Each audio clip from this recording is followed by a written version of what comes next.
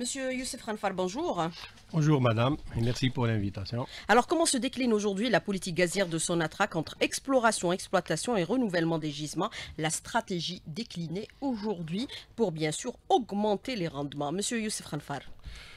Euh, avant d'aller directement vers la, stratégie de Sonatrach, il y a une stratégie mondiale sur laquelle on doit s'inscrire. Sonatrach doit s'inscrire dans une grande stratégie mondiale du gaz.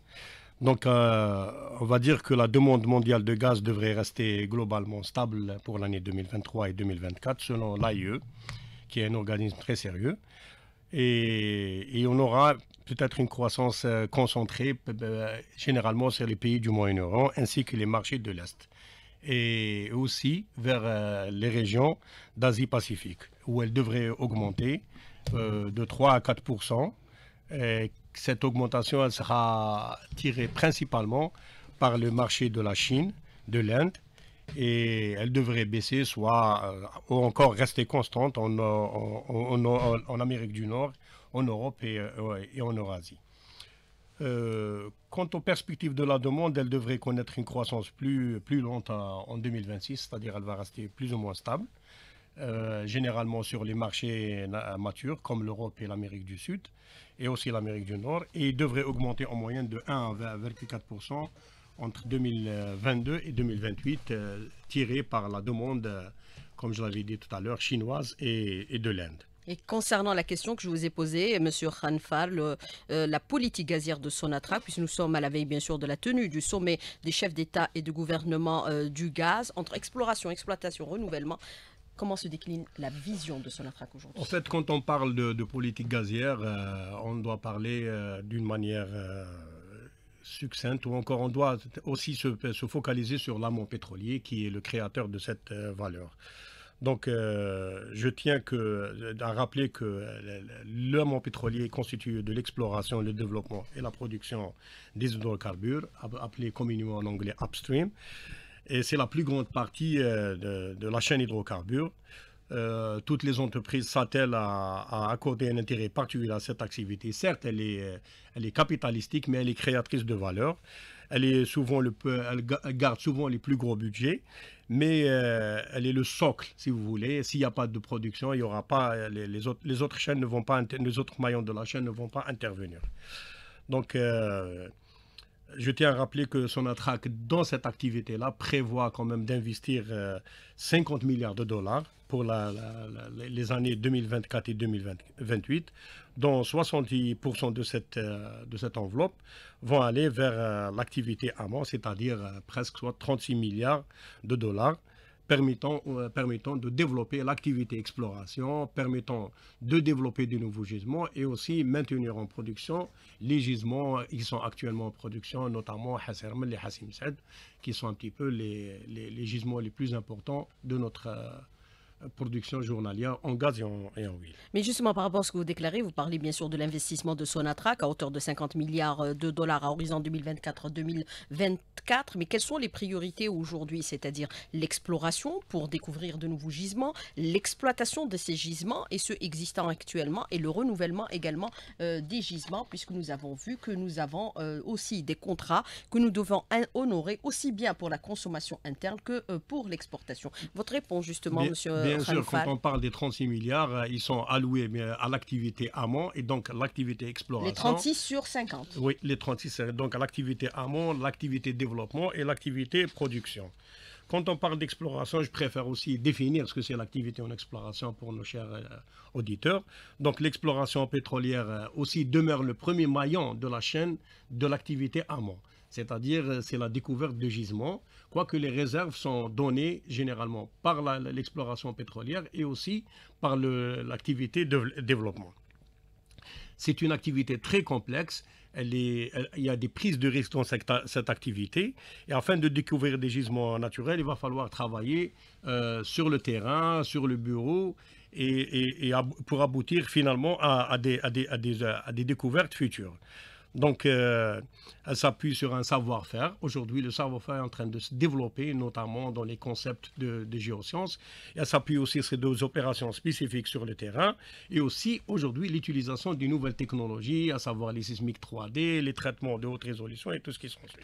Mais est-ce que des gisements nouveaux sont en cours de découverte pour maintenir justement la production à son niveau optimal pour à la fois assurer la consommation interne qui est en croissance et à la fois assurer et honorer euh, nos contrats d'exportation. Quelle est votre réponse, Certainement, certainement pour, euh, pour parler de gisements nouveaux, encore de nouvelles découvertes, je préfère donner quand même un historique de, de, ce qui a été fait les cinq dernières années dans la division exploration, au niveau de l'exploration pétrolière.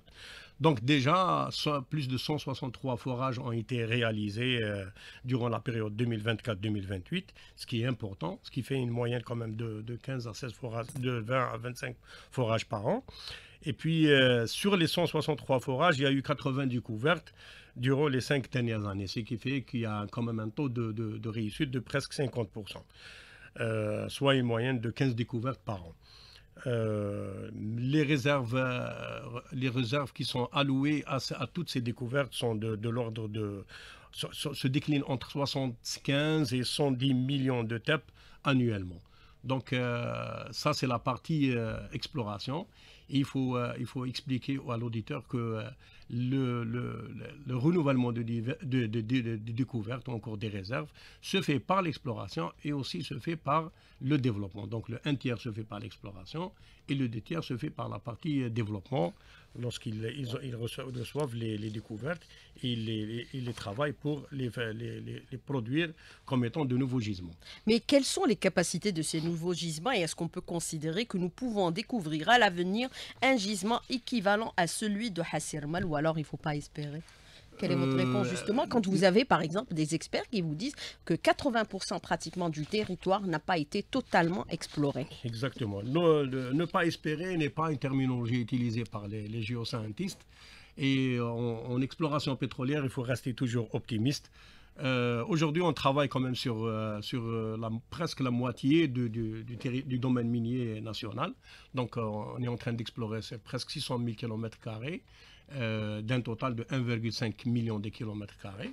Certes, les dernières années, pour une optimisation des coûts, on est resté dans les bassins matures pour pouvoir faire des découvertes euh, intéressantes et très proche des, des, installations pour pouvoir les développer le plus rapidement possible.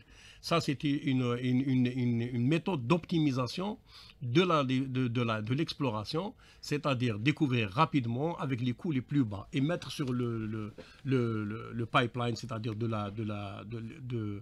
du développement et de la production. Aujourd'hui, euh, comme vous le dites, ok, c'est vrai qu'il faut peut-être aller et s'aventurer encore dans un domaine euh, moins mature, c'est-à-dire des domaines semi-frontiers et frontiers sur lesquels, sur lesquels l'exploration pétrolière va être tout à fait différente et sur lesquels il faut se déployer peut-être petit à petit euh, en faisant en faisant des études géosciences très très approfondies, en, en adaptant aussi euh, des opérations d'acquisition aussi adaptées à des domaines euh, semi-frontiers et frontiers, et pour essayer de comprendre réellement quel est le potentiel, et après euh, implanter les premiers puits dont les premiers prospects seront les meilleurs, Inch'Allah, pour aboutir à des découvertes intéressantes en dehors de ces zones matures, notamment le bassin de Mia, le bassin de Berkine, aller en dehors de tout ça pour essayer d'évaluer le restant du domaine minier algérien. Même si auparavant, il y a des années auparavant, on a, essayé, on a tenté d'aller vers le, le, domaine frontière, mais timidement. Aujourd'hui, peut-être est, il, est, très intéressant d'aller chercher ces réserves, encore d'aller chercher ces découvertes dans un domaine frontière, semi-frontière, et encore aussi, il y a les réservoirs euh, complexes, et puis il y a les, réserves, les nouvelles thématiques dans les, bassins matures, notamment les HPHT, les réservoirs à basse résistivité, les réservoirs, euh, les, les, les prospects avec des piégeages subtils, et ainsi de suite. Mais quelles sont leurs capacités? Leurs capacités ne, ne vont pas, je ne peux pas vous dire aujourd'hui que quelles sont les capacités liées à ces réserves. Mm. Mais un travail doit être fait, un, un travail rigoureux et ambitieux doit être fait dans ces réservoirs, notamment l'application des nouvelles technologies dans les, dans les zones matures et dédiées spécialement pour les réservoirs complexes, dédiées pour les réservoirs HPHT, pour les pièces subtiles, ça, on est obligé de le faire à travers des acquisitions sismiques 3D euh, à, haute définition et aussi qui, seront suivies par des, des, processing et des traitements spécifiques à ces réservoirs. Mais justement, pour renouveler aujourd'hui, euh, par exemple, euh, les potentialités existantes actuellement par le renouvellement des gisements, est-ce qu'on pourrait atteindre des 100 milliards de mètres cubes à horizon 2030, puisque l'instruction du président de la République est très claire et nous avons vu qu'actuellement, la demande, elle est plus sur le gaz que sur le pétrole. Quelle est votre réponse justement par rapport à ça? Et bien sûr, nous sommes le premier producteur de gaz au niveau du continent africain et dixième au niveau mondial. Exactement. Pour donner des chiffres et des indications. Euh, certainement. Je vais vous donner quelques chiffres. Euh, comment dirais-je La moyenne de production de, de, gaz en Algérie, la moyenne de production globale et brute, elle est de 130 milliards de mètres cubes annuellement. Déjà, notre challenge est de maintenir cette moyenne au-delà de l'année 2030, c'est-à-dire euh, essayer de garder cette moyenne nous permettra de répondre un petit peu euh, à la demande du marché national et aussi elle nous permettra de garder nos exportations entre 50 et 50 milliards de mètres cubes vers notre marché historique qui est l'Europe et pourquoi pas vers d'autres marchés au-delà de l'Europe. Euh, c'est vrai que l'Algérie, euh, est positionnée comme étant le, plus grand fournisseur de gaz dans le bassin méditerranéen et en Afrique. et nous avons l'intention de le rester à travers ce que j'avais dit tout à l'heure, donc le développement, essayer de travailler sur l'exploration pétrolière pour découvrir de nouveaux gisements et sortir de la zone de, confort, et aussi travailler sur les gisements en développement, notamment, il y a beaucoup de gisements qui ont été développés ces dernières années, qui ont apporté leurs fruits, notamment avec l'augmentation de plus de 4 milliards de mètres cubes de gaz pour l'année 2022, et on, souhaite aller à plus de 10 milliards de mètres cubes de gaz pour 2020, entre l'année 2024 et 2028. Et ça, ce n'est pas facile. C'est un travail de fond qui devrait se faire en transformant toutes les découvertes de l'exploration en projet de développement et aussi travailler sur le projet de développement actuellement en cours de développement et les futurs projets de développement qui sont notamment l'AHNET et puis d'autres alors, euh, partant de ce que vous déclarez, cela va porter bien sûr le niveau de notre production de gaz à équivalent 150 milliards de mètres cubes à horizon 2025, si je m'en tiens aux chiffres que vous avez euh, communiqués un instant, puisque vous avez parlé de 4 milliards de mètres cubes qui sont venus euh, en plus par rapport à la production actuelle en 2022, et on voudrait atteindre pratiquement le même chiffre en 2025. 150 euh, milliards de mètres cubes, on pourrait les atteindre? on, pourra les atteindre, 150 milliards de mètres cubes, c'est tous les gisements qui sont en développement aujourd'hui et les futurs, futurs, gisements qui vont être mis en développement, on peut atteindre les 150 milliards en production brute. Il faut faire aussi une grande, il y a une différence importante entre production brute et l'offre gazière. Euh, dans la production brute, il faut aussi enlever l'autoconsommation, il faut enlever les gaz à injecter. Et l'offre gazière, elle est, elle, est, elle est, déduite de ça. Mais quand vous euh, parlez bien sûr de l'offre gazière, en déduisant bien sûr la consommation à l'interne, la consommation à l'interne, elle est en hausse permanente aujourd'hui. C'est la question qui vous inquiète le plus. Ça va réduire un peu nos capacités d'exporter euh, sur les marchés internationaux? Oui, l'offre gazière, euh, euh, elle doit répondre, euh, comme je l'ai dit tout à l'heure, stratégiquement parlant, à la demande C'est ça la sécurité énergétique. on a du gaz pour la consommation interne. C'est la priorité de son attaque, c'est de répondre au marché national. Oui, mais exporter et, exporter aussi, c'est un petit peu c'est la vie économique de l'entreprise. Ça, ça, ça va de soi. Donc notre objectif aujourd'hui, c'est de garder, essayer de produire le maximum pour essayer de garder cette réponse à la, à la demande euh, nationale qui est en train d'augmenter de 3 à 5 chaque année. Elle, elle, dépassera les 60 milliards de mètres cubes euh, dans la consommation nationale à partir de 2030, ce qui nous, ce qui nous poussera à travailler plus sur cette offre gazière et, et pour essayer de répondre à la demande nationale et aussi garder le, le marché, le marché à l'export. Il faut une efficacité énergétique. Et à, parallèlement à ça, il y, a des il y, a des projets qui sont en train de se faire dans le cadre de la transition énergétique, notamment le lancement par Sonalgaz des 15, les 15 gigawatts de, je suis en train de, 15 mm. de 15 gigawatts de, de, photovoltaïque qui vont être dans les 2 et les plus 2 plus 1 vont être lancés incessamment. Et puis il y aura les 6 autres gigas qui vont être lancés à partir de 2025. Euh, ceci permettra quand même à, à Sonatrach d'économiser des, des, des, des, volumes en gaz. Il faut juste rappeler qu'un giga installé, c'est presque 400 millions de mètres cubes de gaz récupérés chaque année. Donc, Et les gaz à injection aujourd'hui, parce que pour maintenir en vie euh, les puits, il faut injecter des pro, euh, du gaz en quantité importante. Mmh. On injecte Ce qui- l'équivalent de 30% de toute la production De 30%, 25%, tout dépend de, du gisement. du gisement. De toutes les façons, c'est des santé. techniques de récupération. On ne peut pas s'en passer. Pour maintenir un gisement en vie, il faut, il faut injecter du gaz. Et ça, c'est des techniques de... Dans d'autres gisements, on injecte de l'eau avec de- du, du gaz. Mais on s'est rendu compte que l'eau, c'était pas utile, c'est plus le gaz. Tout dépend du, du gisement, madame. Alors, euh, Monsieur Youssef Renfal, je voudrais revenir un peu sur les indicateurs que vous avez donnés. Nous sommes bien sûr à la veille de la tenue du sommet euh, des chefs d'État et euh, de chefs de gouvernement euh, sur le gaz, qui va se tenir bien sûr du 19 au 2 mars, du 29 au 2 mars prochain, du 29 février au 2 mars prochain. Bien sûr, nous sommes aussi à la veille d'une date historique qui est très très importante pour nous, les Algériens, à savoir le 24 février, nationalisation des hydrocarbures, récupération de la souveraineté nationale sur les hydrocarbures. Et on se souvient bien sûr de cette phrase importante du feu Boumedienne. Aujourd'hui, alors vous avez cette expression qui aujourd'hui réaffirme la souveraineté nationale et algérienne sur ces gisements, sur ces euh, matières premières. C'est important dans le contexte actuel puisque nous avons vu que certains pays grands producteurs, détenteurs des gisements importants ne sont plus souverains de leurs, euh, bien sûr, euh, ressources euh, naturelles qui sont exploitées aujourd'hui par ce qu'on appelle les géants pétroliers à travers le monde. Quelle est votre réponse justement par rapport à cette question aujourd'hui? Notre souveraineté est plus que jamais réaffirmée? Euh, certes, la souveraineté nationale d'un pays, elle est liée à sa souveraineté euh, à l'énergie, parce que l'énergie, elle est à la base de toutes les, les industries. La souveraineté nationale aussi, elle est liée à la souveraineté de, comment dirais-je, de, de, de- de- d'un pays. Euh, lorsqu'il produit, et, il doit être souverain. Pourquoi?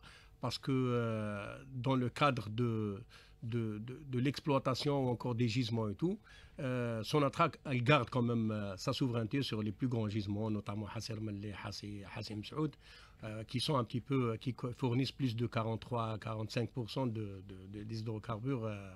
Il y a aussi la souveraineté alimentaire aussi sur laquelle le, le- le gouvernement travaille, travaille. Mais l'énergie reste quand même le moteur de tout un pays.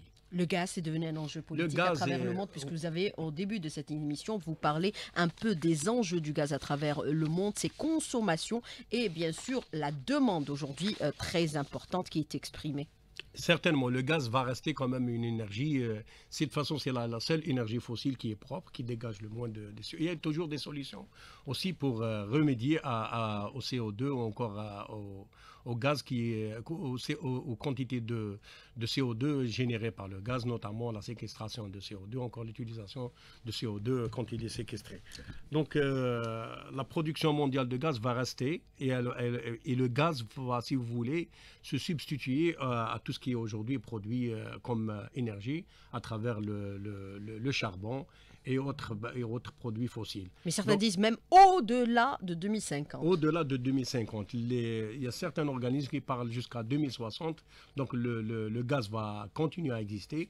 Aujourd'hui, la consommation mondiale, euh, mondiale elle est au-delà de 4000 euh, 4000 milliards de mètres cubes et certains euh, organismes prédictent qu'à partir de 2050-2060, elle dépassera les 5000 milliards de mètres cubes, ce qui, ce qui fait que le gaz va rester longtemps et il va faire partie prenante du mix énergétique, même s'il y a un développement euh, de toutes ces énergies renouvelables.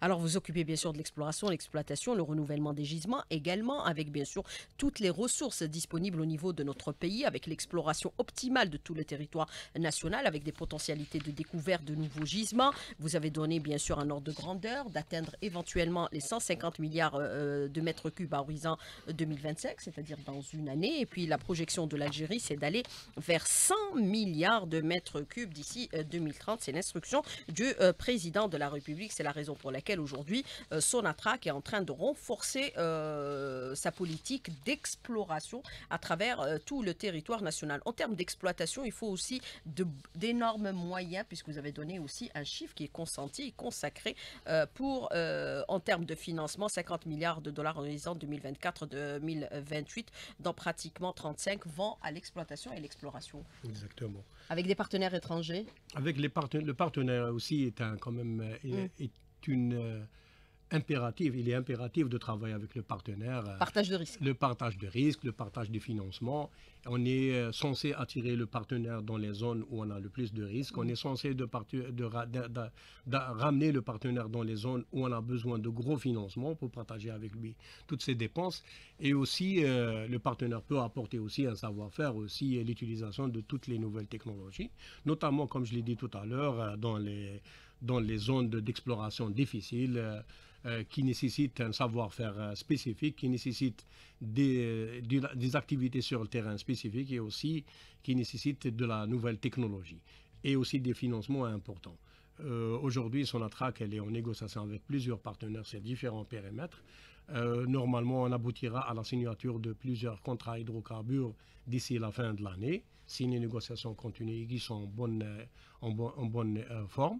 Euh, de grands partenaires étrangers. De grands partenaires étrangers, de grandes entreprises. On parle d'ExxonMobil, on parle euh, de Chevron, les Américains, je parle des géants américains. Il y a aussi les Italiens avec Lini, on parle des Français avec Total, on parle aussi d'autres compagnies également espagnoles, puisque l'envoyé spécial euh, du Premier ministre sera à Alger. Ce qui est intéressant aujourd'hui, c'est que des partenaires qui sont déjà dans le, domaine minier algérien sont très intéressés. Et puis ce qui est intéressant, c'est qu'il y a de nouveaux partenaires venant de d'autres pays sont intéressés par le domaine minier algérien. Que ça soit il y a un engouement. Il y a un engouement, que ce soit dans le, domaine de l'exploration ou encore dans le domaine de développement de gisements. Certains gisements nécessitent un partenariat pour pouvoir les développer. Alors les gisements découverts, c'est des gisements de grande taille ou c'est de moyenne taille? Ce n'est pas l'équivalent de ce que ce nous pas, avons ce eu Ce n'est pas Hasser Mali Hassim Saoud pour être honnête, mais c'est des, gisements, mais hein. des gisements qui hmm. peuvent apporter de la, de la, de la valeur. Euh, euh, comme je l'ai dit tout à l'heure, tous les gisements qui ont été réalisés, notamment de gaz, tous les, découvertes de gaz qui ont été réalisées les cinq dernières années, sont des, comment dire, sont des découvertes aux alentours des, des zones de Hassermel de, et qui peuvent être branchées rapidement. Voilà. On déploie des moyens technologiques modernes pour l'exploration? Oui. Euh, on les a?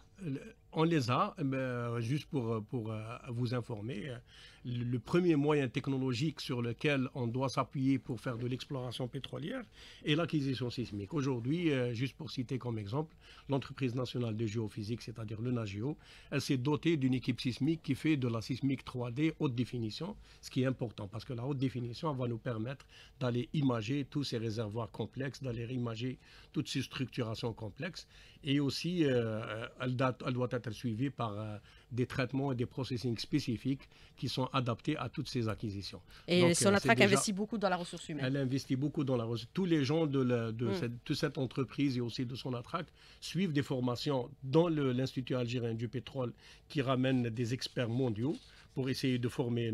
Et aussi un des déplacements. Ils forment même des journalistes en ce moment. Voilà, ils forment même des journalistes. Et aussi a des déplacements de nos équipes de géosciences et aussi de terrain vers l'étranger pour essayer d'acquérir toute cette, matière en, en termes de technologie de technologie et de savoir-faire. Et bien sûr, la compétence algérienne est affirmée et prouvée aujourd'hui, puisque les Algériens, ils ont été à l'origine du lancement des gisements au niveau de certains pays, comme par exemple le Qatar par rapport au train d'exploitation. Ils sont encore sollicités, ils sont en train de... Mmh d'être sollicité par de grandes compagnies, notamment au Moyen-Orient. Mm. Et là, on est en train de former et de former. On ne s'arrête pas de former. Former et garder. C'est ce faut. et garder, voilà. Exactement. Et puis, il faut rappeler aux auditeurs qui nous suivent ce matin que le premier contrat gazier à travers le monde qui a été euh, élaboré, c'est le contrat algérien qui est devenu aujourd'hui une référence à travers le monde. C'était bien sûr avec euh, ce qu'on appelle le train, la camel historique, qui est à Botewa, c'est-à-dire euh, du côté d'Arze. Je voudrais revenir avec vous sur un aspect qui est très très important aujourd'hui, à savoir l'exploitation pour l'exploitation optimale aujourd'hui, vous prenez en considération certains indicateurs euh, de marché également, monsieur euh, euh ou alors vous pensez aussi à laisser de euh, l'énergie pour les générations futures, puisqu'on parle aujourd'hui de l'objectif de 100 milliards de mètres cubes en en 2030. C'est l'instruction du président de la République qui a demandé à explorer davantage le territoire national. Ou alors vous prenez, en en considération tous ces paramètres aujourd'hui, puisque le gaz, on va encore le consommer au-delà de 2050, voire même 2060, et il servira aussi dans la transition énergétique. Comme je l'ai dit tout à l'heure, un effort global doit se faire en matière énergétique. C'est-à-dire que vous avez une stratégie. Il y a une stratégie globale qui doit se faire. Il y a un savoir-faire au niveau de Sonatrach. Il y a un savoir-faire de 60 ans au niveau de Sonatrach. Aujourd'hui, mm. Sonatrach, elle est souveraine. Elle a ses propres appareils de forage, elle a ses propres, euh, ses propres ingénieurs dans l'exploration et le développement. Elle a développé plusieurs gisements en effort propre. De toutes les façons, 80% des hydrocarbures issus des gisements, euh, des gisements du domaine minier algérien sont en effort propre. Aujourd'hui, le partenariat ne contribue qu'à un, niveau, de 20%. Pour vous dire que Sonatrach, elle fait quand même des efforts considérables.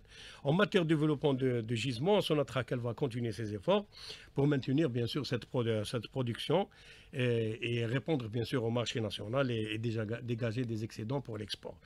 Pour ce faire, euh, le programme d'investissement pour le développement et la production, il est, il est, aux, environs de 28 milliards de dollars et il est prévu pour une période de 2024-2028 et qui sera bien sûr à augmenter au-delà de 2028. Et bien sûr, Sonatrach est au 12e, euh, à la 12e place du top 15 mondial. Les principes, voilà. À, les, côté des grandes Voilà. Et on, et on, veut maintenir notre position en tant mm. que leader et exportateur de gaz mm. dans le bassin méditerranéen avec notre marché historique qui est l'Europe et aussi à travers le NLG pour aller vers d'autres cieux, c'est-à-dire en Chine ou encore aux Indes ou encore dans d'autres. Euh, euh, donc les, aller vers les marchés spot Aller vers les marchés spot. Et, le, et, ça a été réussi en 2022. L'offre le permettra. Donc le, les, les, principaux gisements à développer sont les gisements d'Aintsila, qui est situé dans la région d'Isaren, le, le gisement de Ahnet pour euh, pour comment raccorder les, les, les, plus importantes euh, structures, notamment Gard el Bahr al-Hammar et, mm. et, les, et, une Bazen, et aussi euh, le développement du gisement de Tinhert, les, raccordements des 16 puits de, de OANET, et encore le développement de la périphérie de Hazim Saoud. Donc, les raccordements sont très importants. Les raccordements sont très importants, surtout pour les découvertes situées dans la, des, zones matures. C'est-à-dire qu'ils apportent de la valeur rapidement en attendant son attraque euh, dans la sa partie développement prépare les POD, les plans de, développement, pour essayer de les transmettre à un NOFT pour avoir les approbations. Mais généralement, un NOFT euh, est, une structure ou encore une institution de l'État qui est très souple et qui, et qui essaye de, de, travailler en étroite collaboration pour nous permettre de, de gagner en production d'année en année. Alors euh, justement, quand vous parlez de raccordement, les raccordements, les grands raccordements qui doivent aussi nous maintenir en contact permanent avec nos euh, euh, nos, euh, nos nos clients traditionnels, comme savoir l'Italie, qui veut devenir un hub grâce bien sûr au gaz algérien. Le hub, c'est-à-dire une plateforme de distribution. L'Algérie va alimenter et l'Italie va distribuer au niveau des partenaires de l'Algérie et de l'Italie. C'est important également ces raccordements par gazoduc. Mais bien sûr, le les raccordements par gazoduc nous permettent quand même d'avoir des contrats à long terme. Mm. Même si les contrats à long terme aujourd'hui sont de, de, 12 ans à 15 ans, mais ça nous permet quand même d'avoir une visibilité sur les exportations de gaz naturel. On a vu les Allemands aussi venir en Algérie pour le gaz. De toute façon, la politique européenne, notamment l'Allemagne, mm. avec la Russie, la Russie a fait les dix dernières années plus de quatre raccordements par pipeline. Elle voulait investir toute l'Europe avec son gaz. Aujourd'hui, et, bon, aujourd'hui, avec ce qui s'est passé avec la, guerre en, Ukraine, bon, les choses sont en train de changer de cap. Et aujourd'hui, euh, on, voit l'émersion, encore, encore euh, l'émergence du, du, gaz liquéfié, c'est-à-dire de, GNL.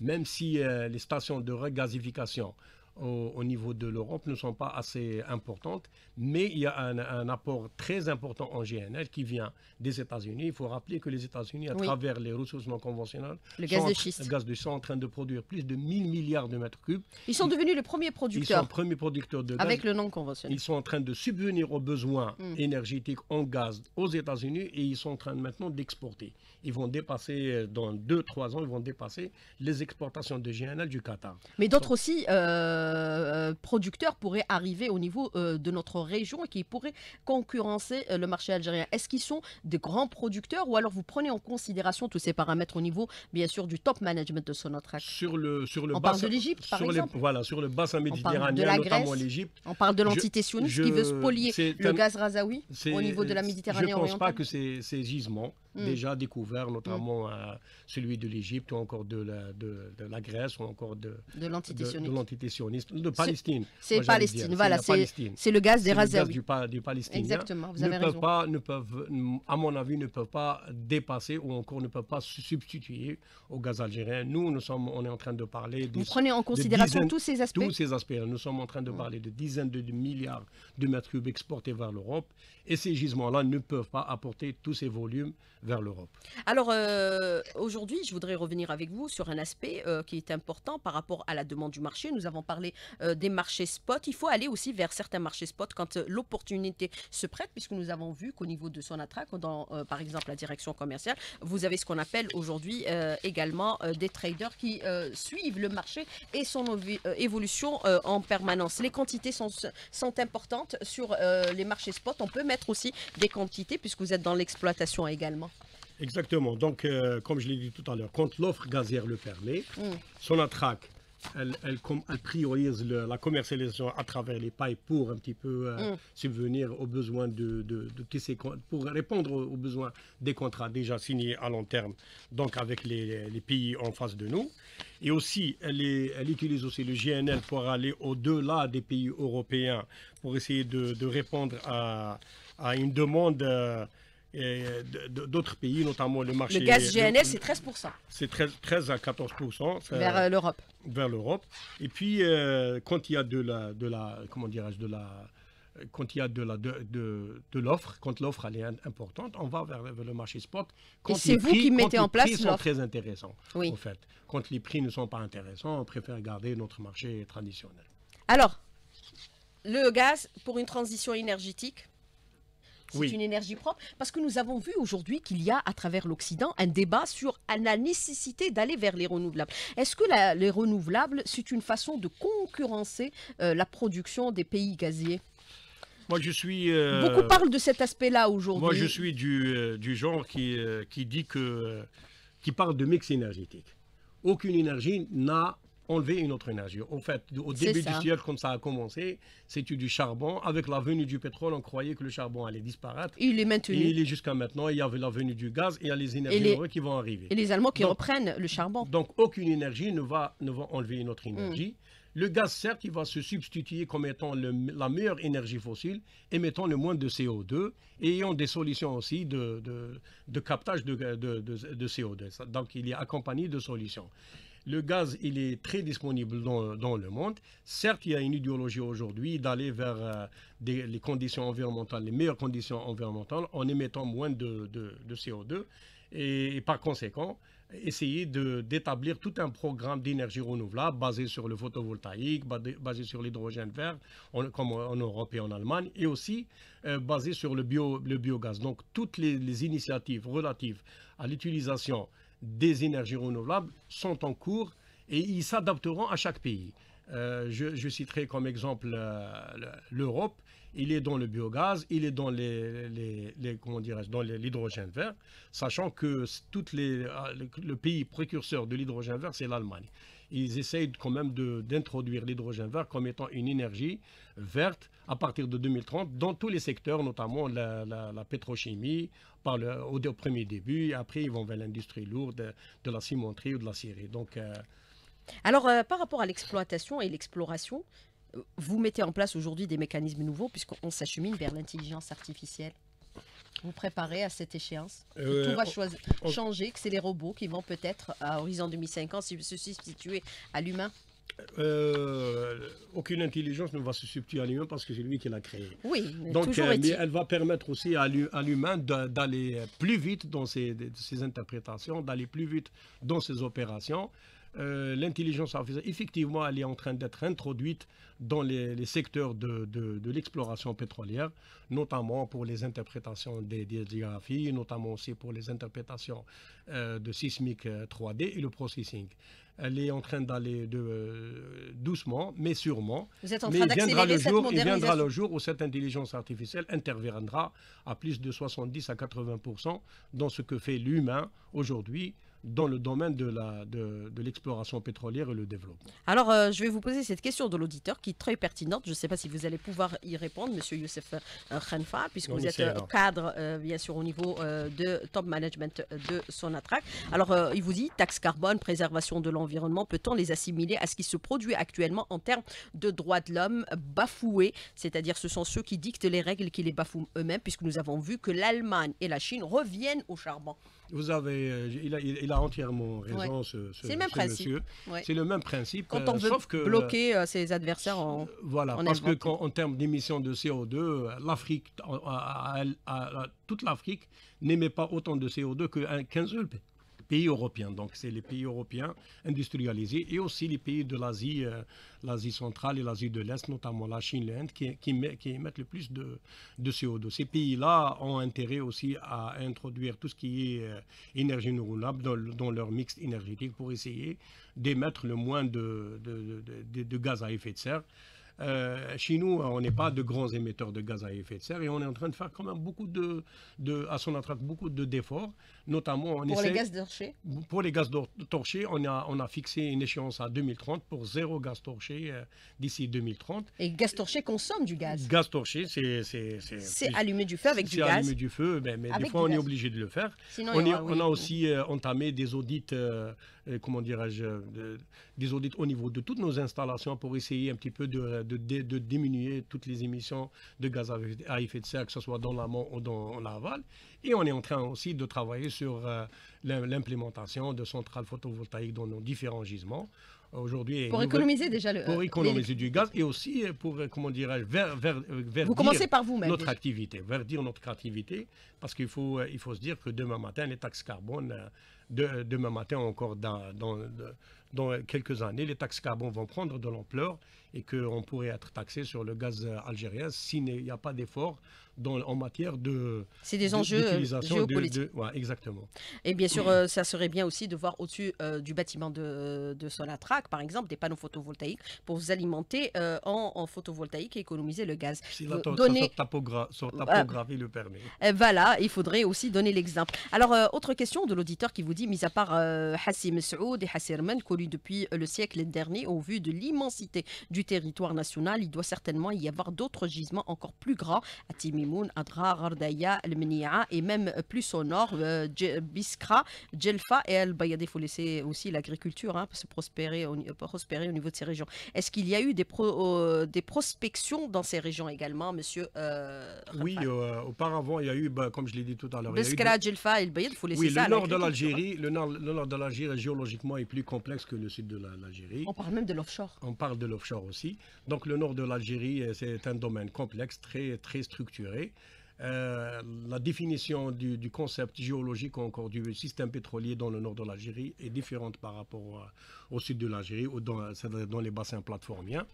Donc euh, même la, comment dirais-je, la- l'approche euh, exploratoire et de développement dans ces zones-là, elle est tout à fait différente de ce qu'on fait euh, vers le sud. Il y a eu beaucoup de, de forages dans le nord de l'Algérie, pas aussi intense, l'activité n'est pas aussi intense que le- les bassins de la plateforme saharienne, mais il y a eu des forages sur lesquels on a eu beaucoup de découvertes, notamment la dernière découverte qui a été faite dans des réservoirs carbonatés au niveau du sud-ouest de Hassermel. C'est des, c'est des nouveaux concepts, c'est des nouvelles thématiques sur lesquelles on est en train de travailler pour dessiner de nouveaux pôles euh, gaziers et pétroliers dans le nord de l'Algérie, même si le concept global de l'exploration et du développement des gisements au nord de l'Algérie reste tout à fait différent de ce qu'on fait en- au, au sud. Maintenant, euh, concernant le L'offshore. L'offshore, aussi est aussi est plus complexe encore que le. C'est la continuité de l'offshore. Il faut y aller Il faut y aller. On est en train de travailler. Nous avons avec eu- des partenaires étrangers. avec des par- on a eu deux autorisations de prospection, l'une à l'ouest et l'une à l'est. Avec Celle Total. de avec Total et Eni dans les deux cas. Mhm. Celle de l'ouest, elle a expiré et on reste sur la, celle de l'est où nous, nous pensons qu'il y a le, le potentiel est meilleur. Nous sommes aujourd'hui en train de, de traiter toute la sismique qui a été déjà réalisée auparavant pour essayer de développer, de, de- comment dirais-je, de, de dessiner un prospect viable dans le but de le, de le forer peut-être en 2027. Il faut rappeler aussi que l'offshore est très délicat Mm. euh, en termes de, technologie parce que le forage en offshore, ce n'est pas comme le forage en, en- en onshore. Et puis les coûts d'un forage en offshore dépassent les 100 millions de dollars. Donc il va falloir réfléchir à deux fois pour aller euh, chercher, euh, pour aller forer ces prospects-là. Et il faut le faire, hein, de toutes les manières. Il faut On ne peut pas laisser tout en jachère. Alors, euh, exploitation, exploration même à l'international, à Libye, le marché? Oui, l'exploration à l'international, elle est elle est généralement dans les pays du Sahel, en Libye, en mm. Tunisie, en Niger, au Mali, en Mauritanie. On est présent dans tous ces pays. On est présent dans tous ces pays, mais le focus aujourd'hui, mm. il est beaucoup plus au Niger et en Libye, où nous avons des On a été même en Amérique latine Dans le Pérou, mais ce n'est pas, pas des contrats d'exploration, mm. c'est autre chose. Donc, euh, en, en, Libye et en Niger, nous avons des, des concessions de d'exploration et de développement. Donc euh, nous, nous allons revenir en Libye incessamment parce que maintenant il y a eu la levée de la force majeure. Donc nous allons revenir vers le bloc 65, 64 et 65 et puis c'est le bloc 95 sur lesquels on va travailler. C'est des blocs très intéressants où Sonatrach a réalisé beaucoup de découvertes. Donc dans certains blocs, on va, on va continuer à explorer pour essayer de développer incessamment et dans d'autres blocs, on va développer. Pour ce qui est du Niger aussi, je rappelle qu'on a fait deux découvertes intéressantes sur lesquelles on va continuer à travailler. Euh, et on va y aller incessamment pour forer le troisième, le troisième puits au Niger. Et le gaz, bien sûr, c'est une question de souveraineté nationale et réaffirmée à maintes reprises. Et le débat revient bien sûr autour de la concentration de ces euh, ressources comme, euh, comme bien sûr une souveraineté nationale pour tous les États. Monsieur Youssef Khanfar, merci d'avoir répondu à la question, d'avoir été en direct avec nous ce matin dans le studio. Merci beaucoup. Bonne journée. À bientôt. Au revoir. Merci, madame.